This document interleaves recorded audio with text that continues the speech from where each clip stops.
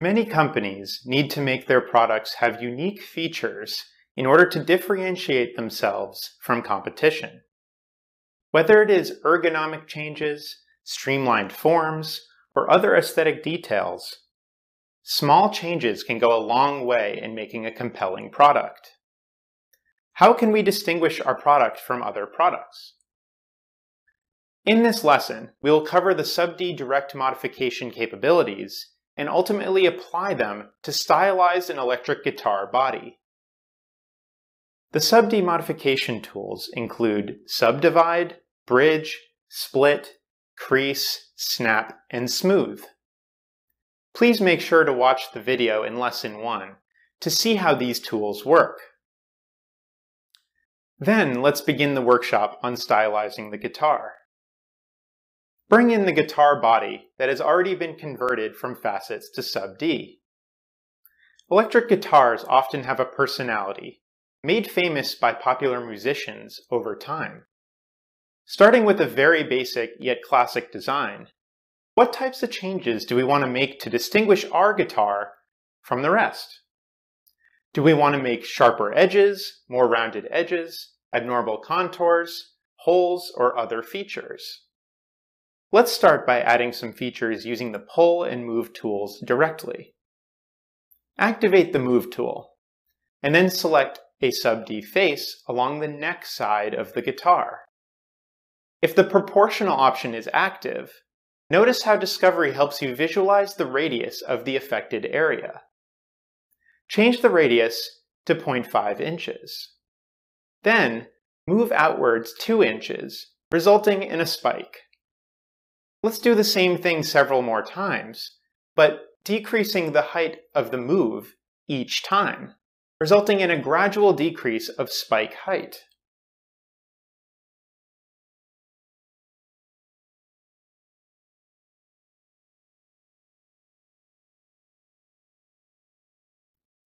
Let's do the same process on the bottom neck side of the guitar as well.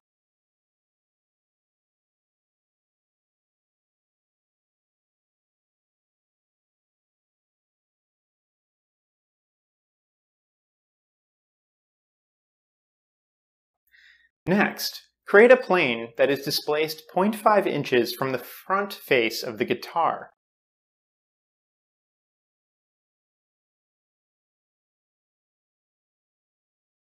Now, let's make a selection of faces that we want to snap to the plane. You can do this by selecting faces and going down to the Advanced Selection tab and click Add Selection, creating a group. Click the Snap tool and then go down to the Name Selections groups and select the group. Then click the plane and click the green check mark. The faces are moved up to the plane. Let's create a few more raised up sections using Snap.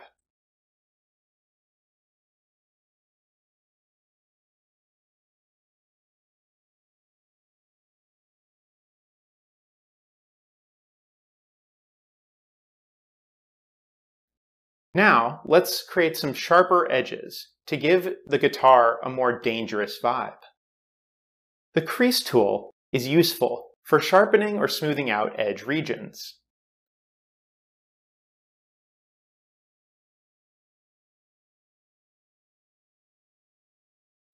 Notice you can increase the crease factor to make even sharper edges. Pick a crease factor of at least 5. Let's crease a bunch more edge regions on this model.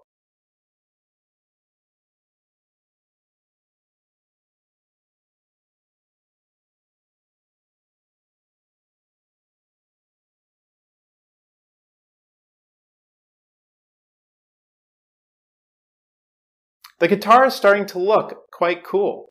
It's a distinctive design. What else can we do to add interesting details? Let's try the bridge tool.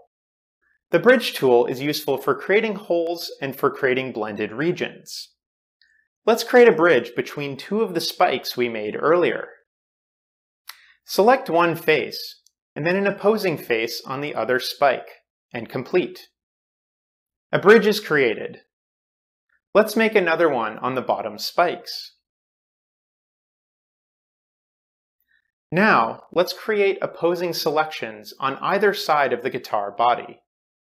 The Bridge tool will create a hole in the part between your selections.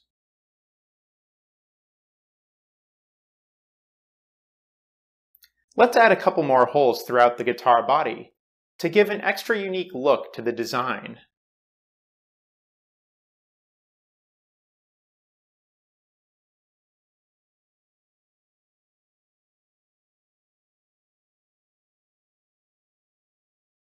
The auto-generated sub-D body already has plenty of faces, so there's no need to subdivide the model further.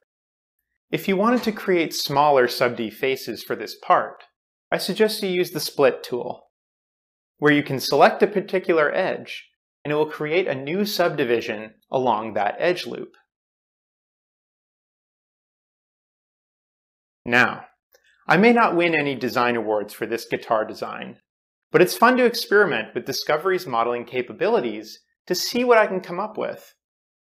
And when you follow along with this exercise, I encourage you to build on this, or even create a completely new design concept. If you want to continue practicing your sub-D modeling skills, I suggest you go back to the perfume bottle exercise from the previous lesson, turn off the cage, and add finer details to the model. This concludes the Intro to Sub-D Modeling course in ANSYS Discovery. If you are interested in learning more about modeling or simulation, please go to the ANSYS Innovation space and look at our free ANSYS Innovation courses, which cover a multitude of simulation topics using ANSYS simulation software.